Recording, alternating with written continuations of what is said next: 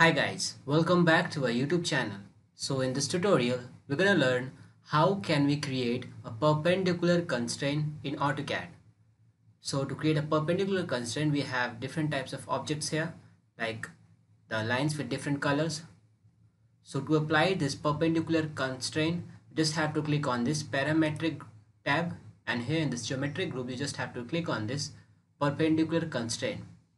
Just after clicking, your command is activated now you have to select the first object and the second object. As you can see this is the first object and second object is lying in 90 degree. Similarly we can again select the command select the first object and now this is the second object. Again this first object and it's the second object.